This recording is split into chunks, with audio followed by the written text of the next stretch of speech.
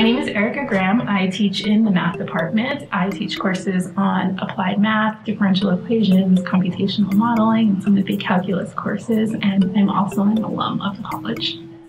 I always knew that I was going to be a math major, but I didn't know necessarily what I wanted to do with it. And so that pretty much persisted for four years, except for the fact that I worked on a senior thesis project that was related to math biology, and I really enjoyed that because it didn't feel like work to me. It was just sort of fun.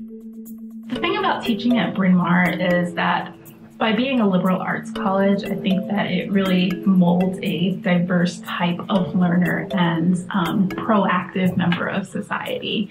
And I think having had experiences at much larger schools where the liberal arts is less of a focus, I felt that wherever I ended up was definitely someplace that needed to sort of um, be connected to the student body and also to sort of cultivate the individuals on campus as opposed to um, teaching very, very large classes of individuals where you don't really get to know the students. And Bryn Mawr is definitely a place um, like that. And it spoke to me as an undergraduate here, and that's one of the things that I want to give back to the community as well.